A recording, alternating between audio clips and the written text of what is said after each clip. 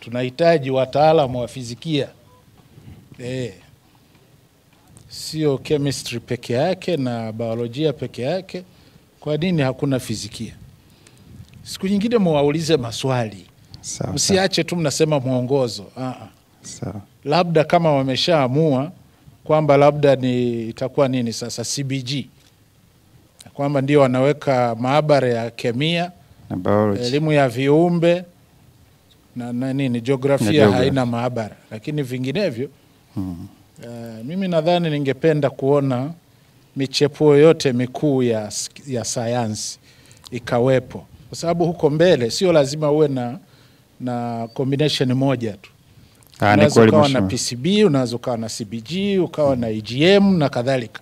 Sawa sawa. Eh, ni watake mapema kabisa, Ndio. masika zinapoanza muwe mmetengeneza utaratibu wa kupanda miti kwa, yani kwa ustadi. Ili shule ipendeze, sababu unajua huku ni mashariki, upepo mnaoona unakotoka.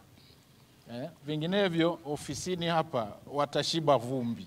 Lakini ushauri wangu ni kwamba mngepanda miti kuanzia kule ng'ambo ya barabara. Eh? Sawa, tumepokea tumepokea kwa kuwa kule ni mtoni, msipande msipande sana hii mikaratusi, mpate ushauri wa miti mizuri ya kupanda Asante. ili tuwe na miti lakini sio fyonza maji.